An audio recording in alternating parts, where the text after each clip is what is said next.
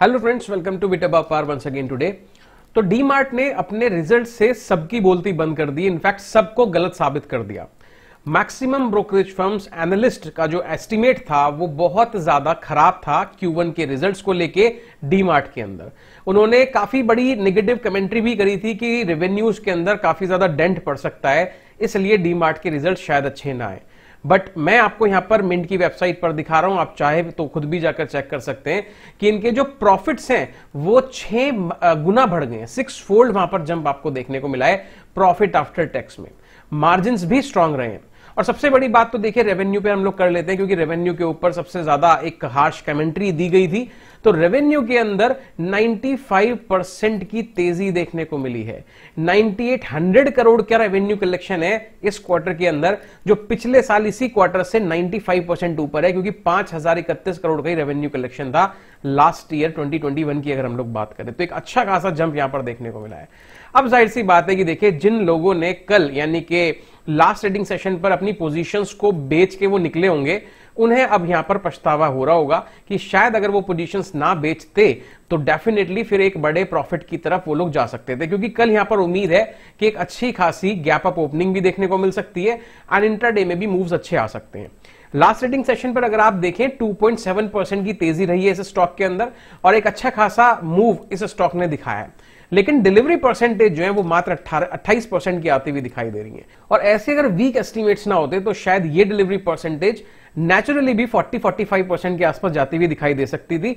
जैसा मैं मानता हूँ कि डीमार्ट एक बहुत अच्छी कंपनी है फंडामेंटली स्ट्रांग कंपनी है एंड इसके रिज़ल्ट नेचुरल कंडीशन में बहुत अच्छे एक्सपेक्ट किए जाते हैं स्टॉक मार्केट के अंदर। चलिए एनीवेज थे कि हम लोग थोड़ा सा टेक्निकली देखने की कोशिश करेंगे क्या सिचुएशंस यहाँ पर दिखाई दे रही हैं। तो चार्ट पर अभी जो सिचुएशंस हैं, उसके हिसाब से आप देखें, एक अच्छे खासी गिरावट के बाद में इस स्टॉक ने एक डबल बॉटम जैसी फॉर्मेशन करी है और ये डबल बॉटम की जो फॉर्मेशन है, ये भी एक्चुअली में तीन महीने के अंदर जनरेट हुई है। तो एक अच्छे खासे फॉल के बाद में बेस बना है इन लेवल्स के आसपास और मुझे लगता है कि यहाँ से ये लेवल अगर ब्रेकआउट वाले निकल जाते हैं, अगर इसको मैं मार्क करने की कोशिश करूँ तो देखिए आपके सामने आ रहे हैं ये 4050 के। 4050 की नेकलाइन अगर निकल जाती है देन फिर एक बड़े टारगेट की तरफ़ डीमार्ट जा सकता है।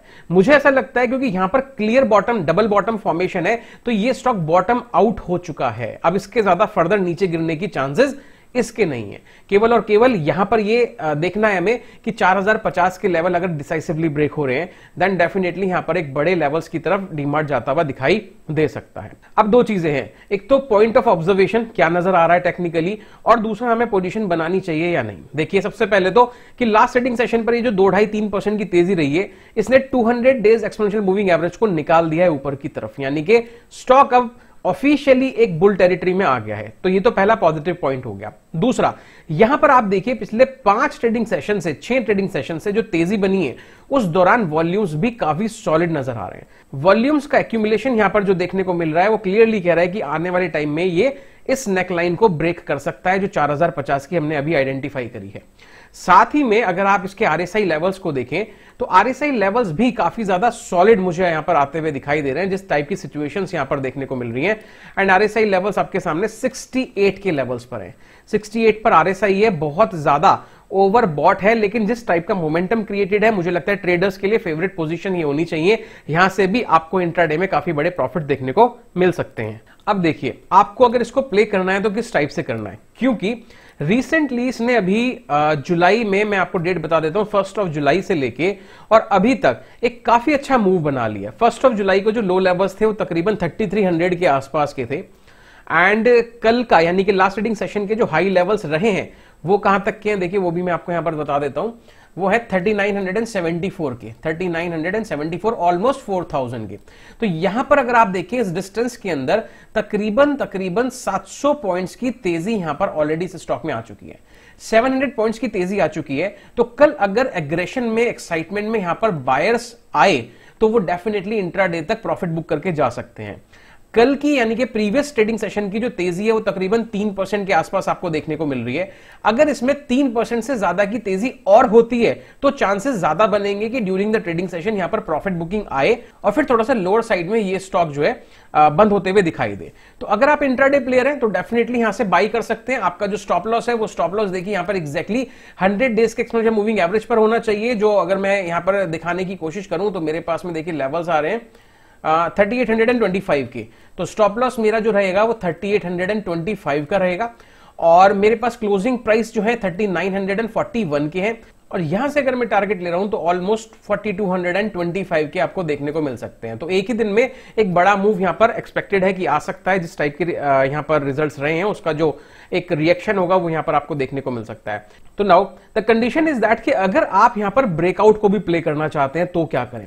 तो देखिए, मेरा ये मानना है कि जब ये 4050 के लेवल को डिसाइसिवली क्रॉस कर दे, तब आप पोजीशन बनाइएगा। यानी कि कब? कर तो ये कल भी सकता है। लेकिन देखिए, जब एक दिन के अंदर बहुत बड़ा मूव आएगा और ऑलरेडी पहले भी इसके अंदर 700 पॉइंट्स का मूव हमने देख लिया है तो ज़ाहिर सी बात है, आने वाले एक दो ट्रेडिंग सेशन के अंदर ये इस लाइन को रिटेस्ट ज़रूर कर सकता है। यानी कि ऊपर जाएगा, फिर रिटेस्ट करेगा, यहाँ पर रिटेस्ट करेगा और देन फिर ऊपर की तरफ़ जाएगा। तो जब ये रिटेस्ट कर रहा हो तब यहाँ पर पोजीशन बनाइएगा इन स्टॉप लॉस के साथ में, इन स्टॉप लॉस के साथ में पोजीशंस बनाएँगे तो एक अच्छा मौका मिल जाएगा आपको पैसे कमाने का। क्यों? रीजन बताता हूँ मैं क्या है। जिन लोगों ने यहाँ से पोजीशन बनाई होगी, वो एक अच्छे खासे प्रॉफिट में बैठे होंगे।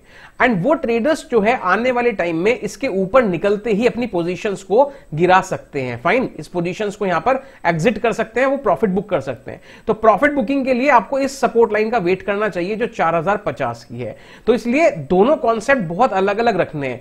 इंट्राडे में अगर मैं पोजीशन बना रहा हूँ तो मैं डेफिनेटली इन लेवल से बना सकता हूँ स्टॉप लॉस मैंने बता दिया है।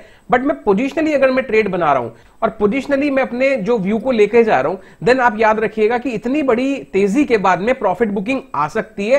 एंड जनरली ऐसा होता भी है। प्रीवियसली भी हमने देखा है कि देखिए, जब भी प्रॉफिट बुकिंग आती है, वो एक अच्छे खासे मूव के बाद देखने को मिलती है। तो एग्रेशन में आके पोजिशन बना के नहीं जाना है। अदरवाइज़ आप लॉस में आ सकते हैं। या तो इंट्राडे प्रॉफिट बुक कीजिएगा और दोबारा नेक्स्ट करेक्शन के अंदर या नेक्स्ट रीटेस्ट के अंदर आपको पोजीशन बनानी होगी। आई होप पॉइंट्स आपको समझ में आ गए होंगे कि किस टाइप से पोजिशन बनानी है। कोई बहुत ज़्यादा एग्रेशन नहीं दिखाना है। बहुत हैवी क्वांटिटीज को अगर आप लेके जाएँगे देन डेफिनेटली ट्रैप हो सकते हैं। थोड़ा सा देख के रखिएगा। तो थोड़ी सी स्टडी एंड विजडम के साथ में आपको प्ले करना होगा। इस स्टॉक को हाउएवर काफ़ी अच्छी तेज़ी यहाँ पर शुरुआती सेशन में देखने को मिल सकती है। एक डिस्क्लेमर देना चाहूँगा, मेरी कोई पोजीशन डीमार्ट के अंदर नहीं है। कोई भी कंफ्यूजन हो, अपने फाइनेंशियल एडवाइजर की राय ज़रूर लीजिएगा, तभी पोजीशन बनाइएगा किसी भी स्टॉक के अंदर। इस वीडियो में फ़िलहाल इतना ही। वीडियो अगर अच्छी लगी तो लाइक और शेयर ज़रूर कीजिएगा। मिलूँगा बहुत जल्द आपसे अगले वीडियो में। Thank you bye